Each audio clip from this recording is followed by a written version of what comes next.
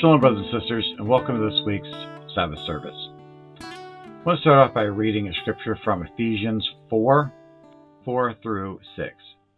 There is one body and one spirit, even as ye are called in one hope of your calling, one Lord, one faith, one baptism, one God and Father of all, who is above all, and through all, and in you all. For prayer requests this week, would ask that you please pray for the sick and the afflicted, those that are emotionally distressed, those that are suffering in spiritual darkness and loneliness. I feel like a big part of the duties of the fellowship is to help fight the war against loneliness. We are all connected through modern technology, but loneliness seems to be at an all time high in our world. Please pray for those that watch these videos but feel like they are stuck, like they can't be here with us. Help them to, but well, pray the Lord will help them to overcome their fears and their anxieties. And please pray for those that are seeking that they will find. We're running into more and more people that are interested in joining the fellowship or working with us in some way. Time zone, again, is become a huge issue. So we also ask that you pray that we'll be able to meet together and find the times that will work for everyone.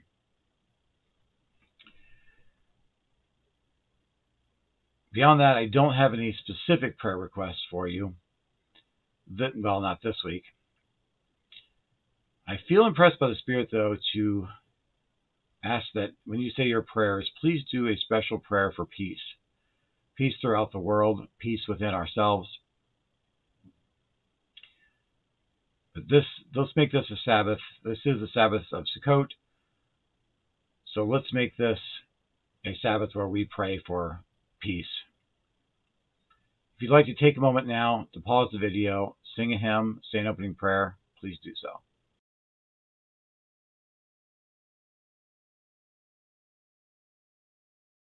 We're going to go ahead and do our moment of unity. I am going to read the Shema, first in Hebrew and then in English. And then there will be space for everyone to read the Shema back in English. Shema Yisrael, Yavah Elohenu, Yavah Echad. Hear, O Israel, Yavah is our Elohim. Yivah is unity.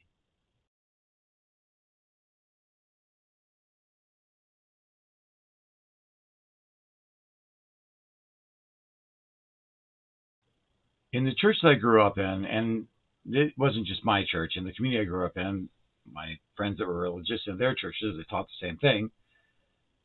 There was this idea of there's only one true church, and it's the one that I belong to. And this scripture, one Lord, one faith, one baptism, that got pounded pretty hard into us. And that meant that at school, I had religious conversations with friends and with teachers. Sometimes with teachers, they weren't conversations, they were more like lectures about how Dave was going to go to hell for being Mormon. But there was still this idea there was one Lord, Jesus. But there's only one Jesus, and it was their Jesus. My Jesus was wrong. And from my perspective, my Jesus was right and theirs was wrong. There's only one faith. It was whatever faith you belong to. So the church I went to was that one faith and everybody else was wrong. And they, they told me the same thing. I was wrong and they were right.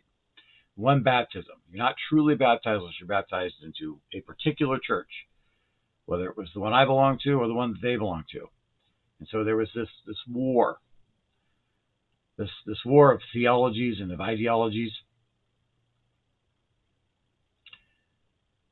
I want to flip the script on this because I do believe that this is true, but I don't believe it's true the way that my teachers, my friends, and even I were taught as I was growing up. And I want to include the entire sentence here. There is one body. Is that this body? Does that mean I'm the only thing that exists in the whole universe? That's pretty deep, pretty profound. And in one sense, yes, we are the hero of our own story. Our entire lives are our narrative. We only see things from our perspective. We can try to see things from other people's perspective, and I encourage you to do so. But in the end, even then, it's still our interpretation of that. So then, what does this mean, one body? It can't just mean it's all about me because that's egoism. So let's take it a step further. There's one body, and that could be the church that you belong to. All of you have the same, or at least similar enough, theologies, right? You're all seeking the things you have in common, and you, you hunker down in that war against the whole rest of the world. But I think it's bigger than that. I think that it could be, since I grew up in the Latter day Saint movement, I'll say all Latter day Saints. We are one body. But we're one body that smacks itself on the hand, slaps itself in the face. Because we attack our body, we attack each other within our movement. But that doesn't mean we're not one body. It just means we're one body that seems to enjoy inflicting harm upon itself. But I want to take this further. I don't think it's just the Latter day Saint movement. I also think it's all of Christianity. No matter what brand of Christianity you have, and I'm going to call it brand because we do, we, it's branding. We market our churches. Whatever brand you belong to, you have at least one thing in common with every other church, whatever it is. Even Jehovah's Witnesses, people love to pick on them, but they have at least one thing in common with every church.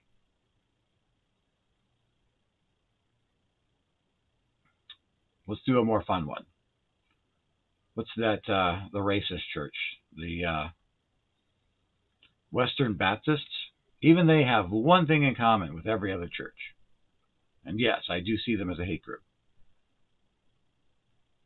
But I want to expand this out. I want to make this even bigger. Not just all of Christianity, but Christianity, what is Christianity? It's nothing more than an offshoot of Judaism. We are basically Jews that, well, we're not Jews, we're Israelites, I guess. But we, we, this, these Jews started this new thing and other Jews didn't like it. They called it Christianity. Pagans jumped on it, and suddenly the Jews and the Gentiles merged together and created this whole new religion. But we, we came from Judaism. And so therefore we worship the same God. So let's put the Jews in this umbrella as well. Not just the Jews. Because really, Abraham is the one that started all of this. And Islam would be an Abrahamic religion. And I guarantee you that every Christian church, every Jewish church, and every branch of Islam, we can all find at least one thing in common. We may look at God differently. We may look at lots of things differently. But at the end of the day, we will all have at least one thing common. Now, I want to take this further. There are other religions that believe in other gods. But we're still all part of the human race. Therefore, we're all still one body as the creation of God and as the spirit children of heavenly parents. Speaking in my language from my religious background.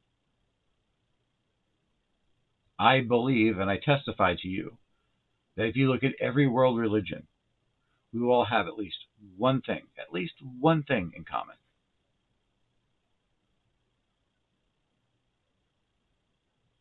So this body starts off as this cell that is me, this nucleus. And it expands out through everything. Because God didn't just create me and nothing else. God didn't just create the fellowship and nothing else. God didn't just create the Latter day Saint movement and nothing else. God created everything because God is the creator. One spirit. I like the idea. Yep, I've got one spirit inside of me. That spirit has existed eternally. What is a spirit? If we have the body, we have the physical. And if we have the spirit, we have the metaphysical, the intellectual, the feelings, emotions, the baggage. The spirit is what gives it is what gives the body life. So in me, in this this cell, this nucleus, I have a spirit. But there's also the spirit of the fellowship, where we all come together, which doesn't really happen very often because we're online and in different time zones. So let's get bigger. Let's go with the whole Latter day Saint movement. There are actually times and event where we gather together. Normally it's to go over scholarly and very opinionated things instead of getting really deep and spiritual. But there are times when we all gather together as Latter day Saints. Think about the Christian holy days, Easter, Christmas. There are times when we get together with our fellow Christians. We exist in this world where we group together with other people of the Abrahamic faith. We share in discussions with people of other religions. And that brings life to the body of us being together. So, this one body and this one spirit can be me, but it can also be all of us and all of creation. So it says, There is one body and one spirit, even as ye are called in one hope of your calling. One hope. What is that hope? Salvation? Exaltation? Is it a financial hope? Are you struggling financially and you're just praying to God to put food on the table? Is it emotional hope? Are you lonely? Whatever it is, there's hope.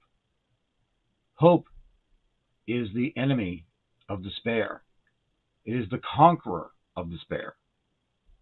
And therefore, we have hope in Jesus Christ as Christians. We have hope in God as human beings that have found religion. And even atheists have hope. They hope that they are right. They hope that there is no God. They hope for better things. Hope is what sustains us, it's what moves us forward.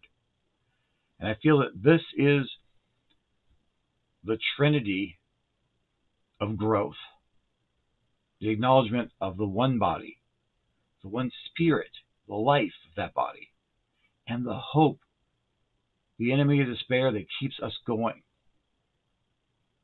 Satan is the father of despair, of doubt, of lies. He wants us to be miserable so that we'll turn against God and join his forces. That's his hope.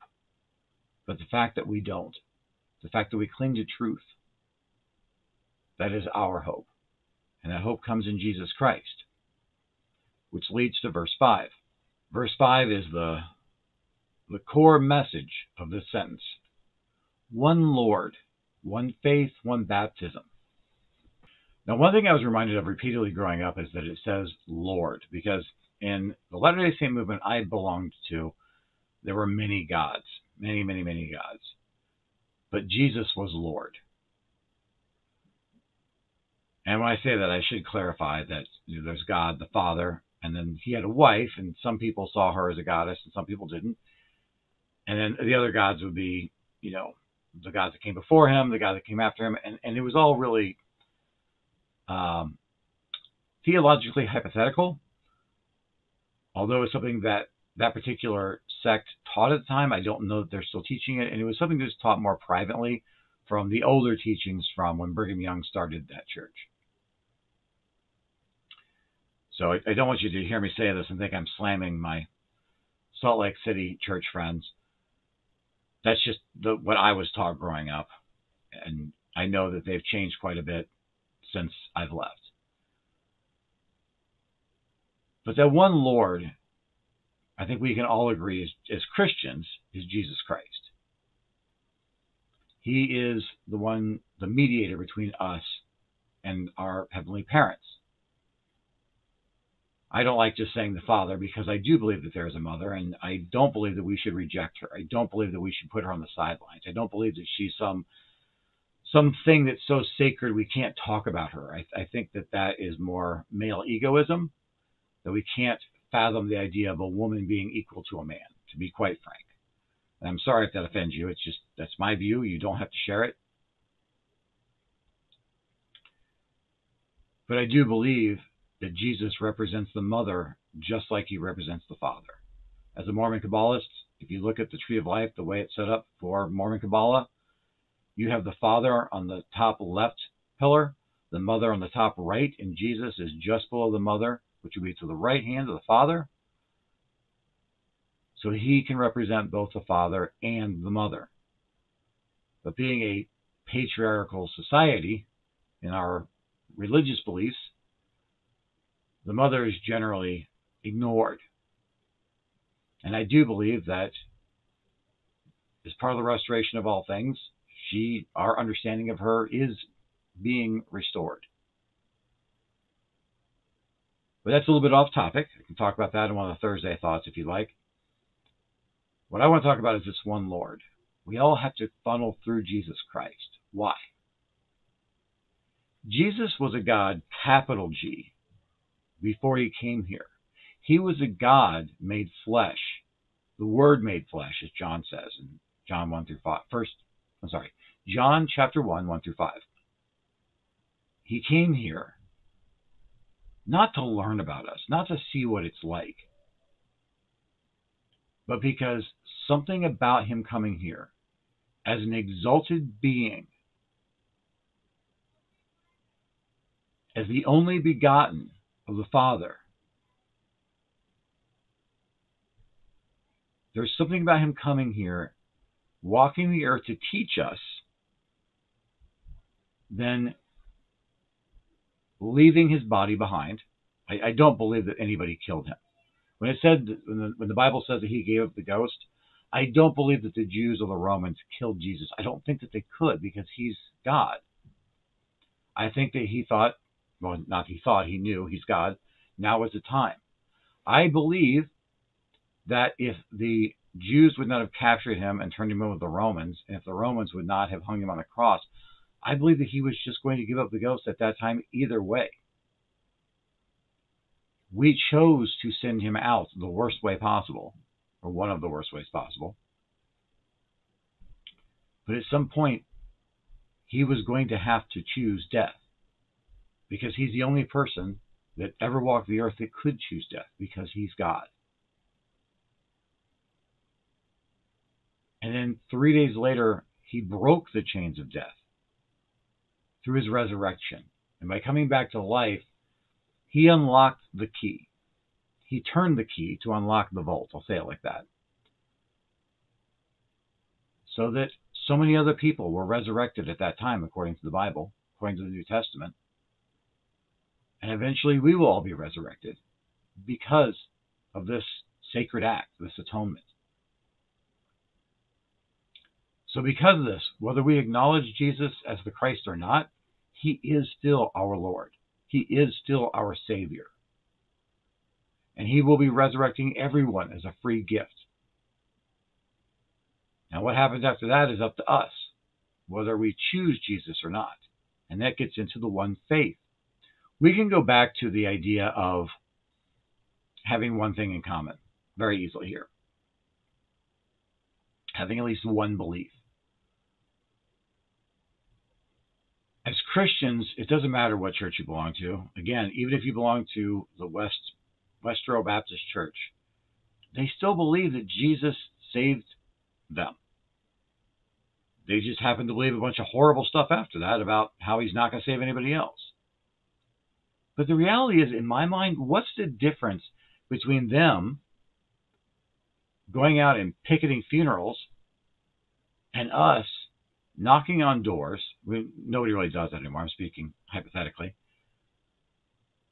And telling people, hey, I know you love Jesus, but I want to teach you how to love him the right way because you're doing it all wrong. yeah, it's pretty messed up to show up at a funeral with a bunch of signs saying that God hates all the people that they hate. That's that's that's definitely not cool. But how's that any different than me telling my coworker, I know you like your church, but I want to tell you about mine and why it's better. One's just nicer. It's just more polite. Does it make it nice? And it doesn't make it polite. But it's more culturally acceptable to at the water cooler say, here's what I'm doing at my church, isn't it awesome? Than, yeah, this person died and uh, I got these people picketing out back. Instead of telling people how awesome our churches are, why can't we just talk about the things we have in common? Oh, you believe that too? That's awesome. Oh, you believe that? Oh, I believe this too. Oh, that's different. Tell me more about that. I'd like to learn more about that. I'm not saying I'm definitely going to believe it, but I'm curious. I'd like to know more about your beliefs. Now that I understand it better, I, I can relate to that. I don't fully agree, but you know, from my perspective, I can see X, Y, and Z. There are ways that we can seek truth together in our diversity. Look at American culture. I am not one of those people that believes in American exceptionalism. I'm sorry if that offends you. I just I just don't. I, I happen to be born here. It's it's that's nice. There's pros and cons of living here in the US, just like there's pros and cons of living everywhere else in the world. But one of the things that, in my mind, makes this country great is our diversity. Because anything that I enjoy about America comes from that blend of cultures. I love that I can get food right here in my neighborhood from all over the world. I love how art has been influenced by immigrants for hundreds of years now. Culture has been influenced by immigrants for hundreds of years now. That's why I don't worry about immigration. That's why I don't worry about immigrants coming here. I want more diversity. I want more ideas, thoughts, art, culture. Because diversity helps us think outside the box.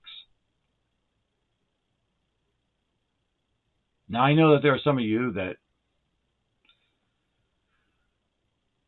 like the fellowship that are not going to like what I just said.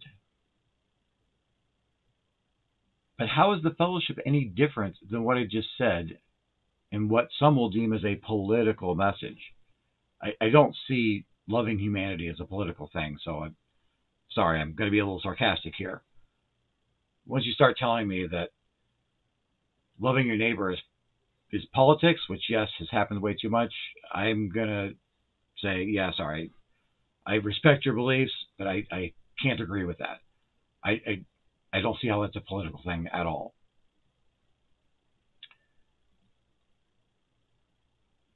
How can we, as a fellowship, say, I want to learn from my fellow Latter day Saints? I want to learn from my fellow Christians. I want to learn from my fellow Abrahamic religions, my fellow Israelites, my friends and family from the Muslim community. How can we say that we're going to learn from any level of any of that and ignore all other walks of life? One body, right? So, one Lord and one faith here. Find the things that we have in common. If it isn't Jesus, there's something else. There is something that can lead us to unity,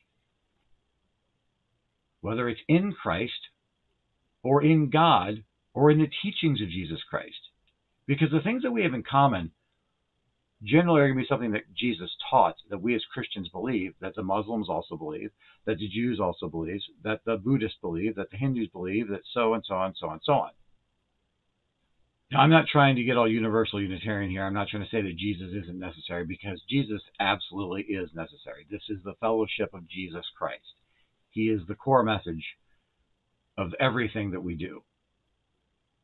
What I'm saying is, how can we accept others in Jesus? And accept that they're not ready to accept Jesus yet. Maybe they're not going to accept Jesus in this life. We can still love them. And now, as a Latter day Saint, I get to the most important part of this message one baptism. There were so many people growing up that wanted me to get baptized in their church because I'd only been baptized as a Mormon.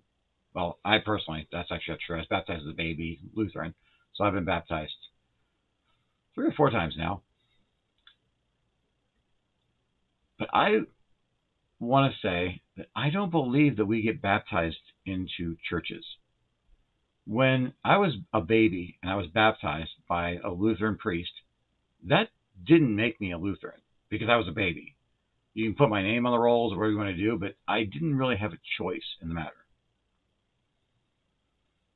Likewise, when I was eight, my father baptized me. That baptism did not make me a member of the Church of Jesus Christ of Latter day Saints out in Salt Lake City. In Kirtland, in 2018, when Christine baptized me, that did not make me a member of the Church of Jesus Christ in Christian Fellowship. Baptism is done because we individually feel called to be baptized. We've accepted the Jesus, we've accepted the grace of Jesus Christ. We've repented of our sins. And now we're saying, I feel called, I feel moved. Just like Nephi. When Nephi saw Jesus baptized, he felt that in his heart. I need Jesus needs to be baptized, I need to be baptized. And I know that in our fervor we may say, well, if Jesus was baptized, then everybody has to be baptized. But I want to say to you, don't get pushy. Let the Holy Spirit tell people when and if they need to be baptized. I believe that God accepted my baptism as a baby because I was innocent. And so I may not have needed baptism, but there was faith there. I believe that God accepted my baptism when I was eight because I had already dedicated my life to Him. And I believe that God accepted my baptism in 2018 because I felt moved by the Spirit to be baptized again. And I have to tell you, being baptized by my wife was an absolutely beautiful thing. I'll never remember, in this life anyway, being baptized by that Lutheran priest. I have no idea who he was. I know it was somewhere in Columbus. That's that's really all I know. But I'll never forget being baptized by my father. I'll never forget being baptized by my wife. Those are special moments to me because my family was involved. The one baptism wasn't being dunked underwater. The one baptism was when I personally accepted Jesus Christ. That's the true baptism. Being dunked in water, performing the ritual, that is merely an outward expression of the inward commitment we've already taken. That act doesn't wash us clean of our sins. Jesus already did that. It just lets the world know that we've been washed clean of our sins. It lets the world know we have been buried and risen again in the name of Jesus. It's a ritual, it's a sacrament, it's symbolic, but of itself it has no power. It only has the power that we give it through the power of God. Otherwise, we could just go baptize everybody and everyone would just be saved, right? Just baptize everybody every day right before bed, and everybody's going to heaven. Does that make sense? I know a lot of people are like, yeah, no, that's not how this works. So, why do we baptize children?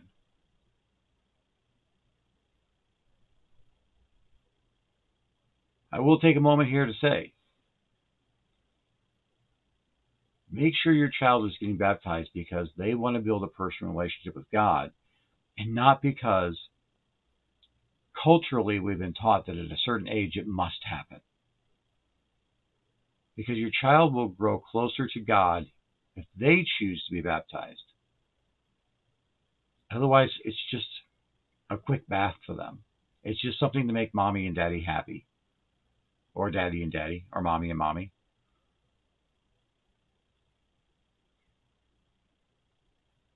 So if we are going to serve one Lord in one faith with one baptism, let's make sure that baptism is the baptism of our hearts. Verse 6 One God and Father of all, who is above all, through all, and in you all. Now, again, being raised in the Brighamite church, it's like, ah ha ha, Jesus is Lord, Father, it's Elohim. And I would add one God the father and the mother. And whether you believe that they're the same person or two different people, I still believe that they are one God. Because Jesus and the Father are one God. It says so in the Book of Mormon. Finite beings, we have a problem with that because I have two hands. I can't just say I've got one hand. If we want to say that we have the Father and the Mother, what is it that, that connects them, that makes them one God? Well, my hands are attached to this body. And likewise, the father and mother, whether they're the same being, that's unisex or non sex, non gendered, or uh, whether they actually are an eternal male and an eternal female. They are still one. They are sealed together. They're one, completely united in purpose, in thought, in everything, in power.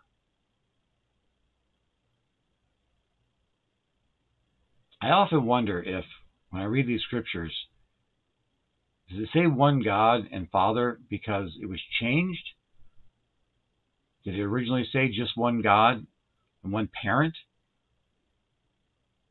or one set of parents?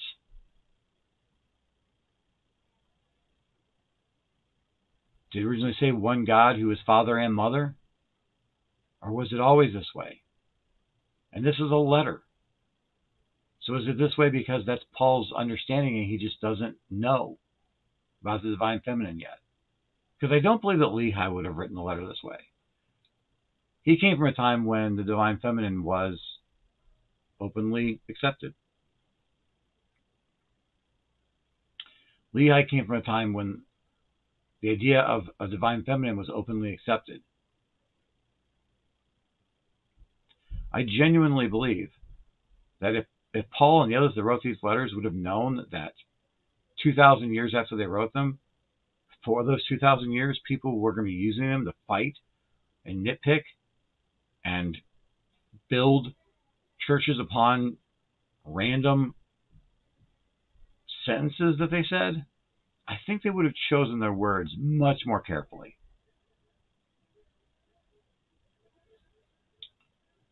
But that doesn't mean that their words don't have value. It does mean that we need to look for the deeper meaning of what could have been said.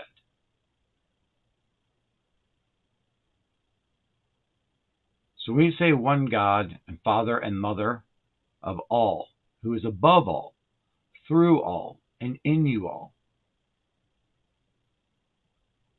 What does that mean? This is where we're going to be wrapping up here. We've talked about the one body, the one spirit, the one hope, the one Lord, the one faith, the one baptism. Those are the threes there. Now we have one God, one Father, above all, through all, and in you all. The core message here, though, is that we have one body, one Lord, who is above all. We have one Spirit, one faith that is through all. We have one Spirit, one baptism that is in us all. That to me is the theological Trinity. And these are the things that can unite us and will unite us if we will just stop fighting, stop bickering, and learn how to love one another. I want to close this by sharing with you Doctrines of the Saints 3B14. And this is from the Constitution of the Church of Jesus Christ and Christian Fellowship. And verse 14 is our beliefs on the proper conduct of the saints. You may recognize it as Article 13 from Articles of Faith from the Brighamite churches. We believe in being honest, true, chaste, temperate, benevolent, virtuous, and upright, and doing good to all men. Indeed, we may say that we follow the admonition of Paul. We believe all things, we hope all things, we have endured many things, and we hope to be able to endure all things. Everything virtuous, lovely, praiseworthy, and good report, we seek after these things. One Lord, one faith, one baptism. How do we find that unity? How do we find that oneness? It's right here. We don't literally have to believe all things because some things contradict each other. But we can respect the beliefs of others that are different from our own. We can hope all things. Hope is one of the central messages. But most importantly, this to me is the key. Everything virtuous lovely, praiseworthy, and good report, we seek after these things. So if you want to know how to understand the one body, the one spirit, and the one hope, to find the one Lord, the one faith, and the one baptism,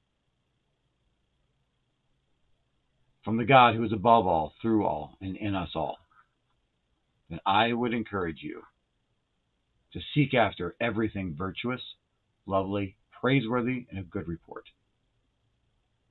That's my message, and I leave it with you in the name of Jesus Christ. Amen. We are now going to proceed to the sacrament of communion. For those who are not familiar with how we do this,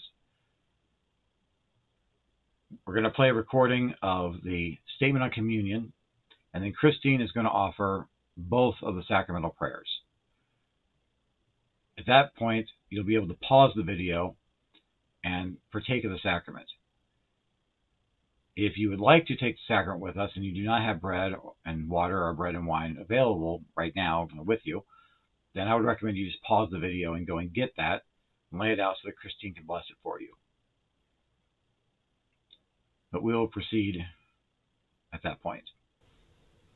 At this time, we welcome all present to Christ's table. We invite all who would participate to do so as an expression of the peace and love of Jesus Christ, in whose name we worship. The Lord's Supper is a sacrament, a time to focus on the life, death, and resurrection of our Lord and Savior Jesus Christ. As disciples of Christ, we renew our covenants and recommit together to his mission to grow closer to Jesus Christ as individuals and as a community, worshiping Jesus Christ through God's Word, the sacrament, ministry, outreach, Kabbalah, and Jubilee. We encourage all that are worthy to receive communion to do so frequently and devoutly. O God, the eternal Father, we ask thee in the name of thy Son, Jesus Christ, to bless and sanctify this bread to the souls of all those who partake of it, that they may eat in remembrance of the body of thy Son, and witness unto thee, O God, the eternal Father, that they are willing to take upon them the name of thy Son, and always remember him, and keep his commandments which he hath given them, that they may always have his Spirit to be with them. Amen. O God, the eternal Father, we ask thee in the name of thy Son, Jesus Christ, to bless and sanctify this wine to the souls of all those who drink of it, that they may do so in remembrance of the blood of thy Son, which was shed for them, that they may witness unto thee, O God, the eternal Father, that they do always remember him, that they may have his spirit to be with them. Amen.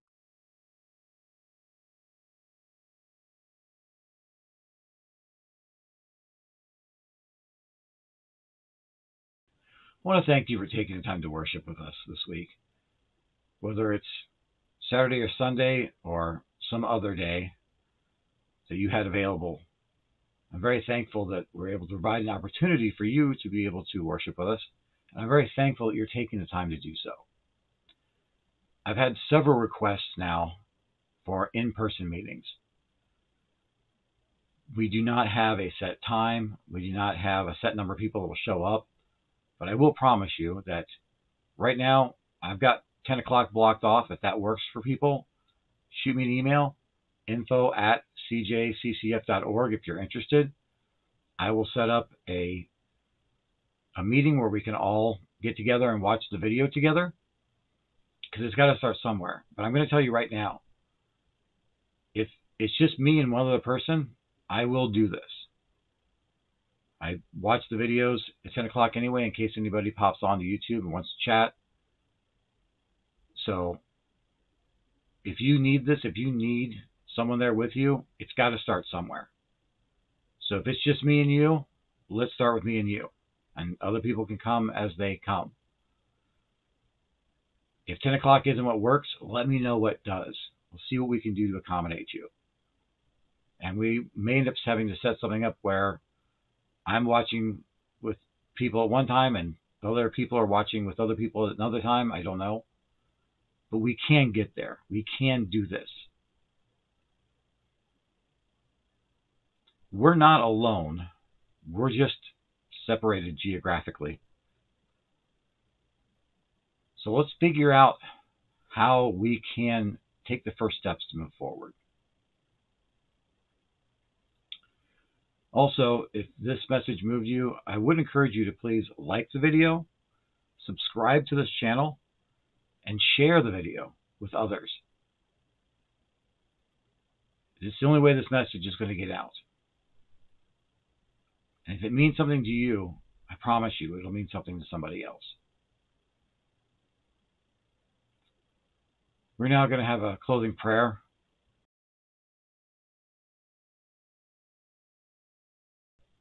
Elohim Shaddai, we bow our before you at this time. Thank you for this opportunity we've had to pray together, to worship together, partake of the sacrament of communion together.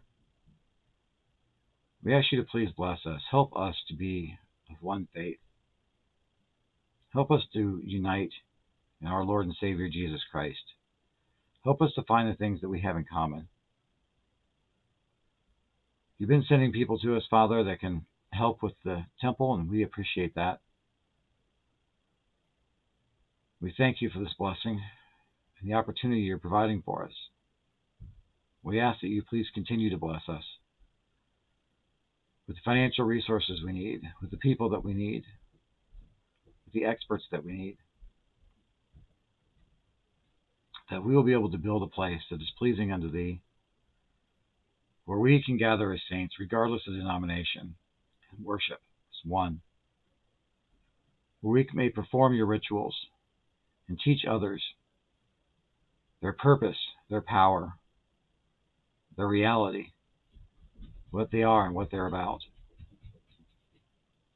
We ask you to please bless us with the strength and the courage and conviction that we need to move forward in faith in your works and in your holy name.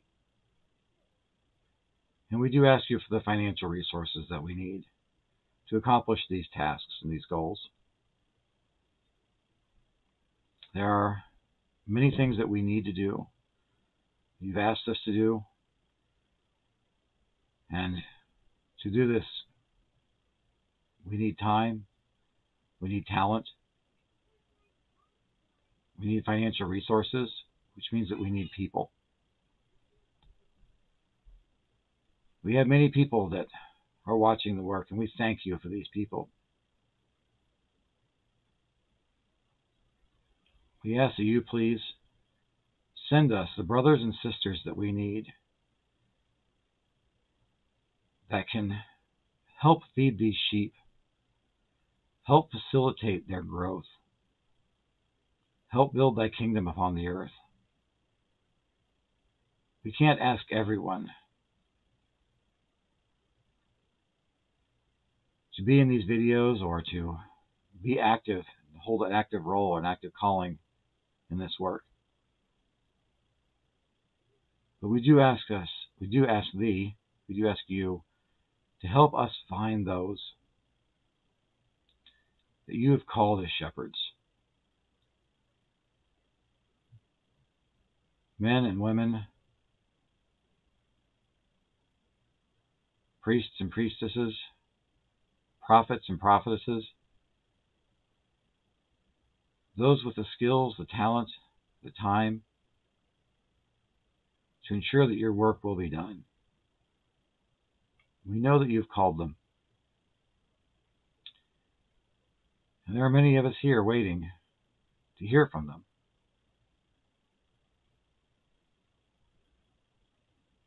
So we ask that you please bless us and bless them, that we may be united in one Lord, one faith, and one baptism. And those that are working to help build this fellowship, we ask that you please bless them with the resources they need the time, the talent, the financial resources that they can accomplish your goals in ways that are pleasing unto thee. We are working to build your kingdom, to build your temple. And we ask that you please bless us with the things that we need to make our burdens lighter and make the things that seem impossible now possible. Again, we thank you for all your blessings. We thank you for all the amazing resources you have provided for us and all the people that you have sent, all those that are worshiping together in thy name. And in the name of thy Son, we say these things. Even Jesus Christ. So mote it be. Amen.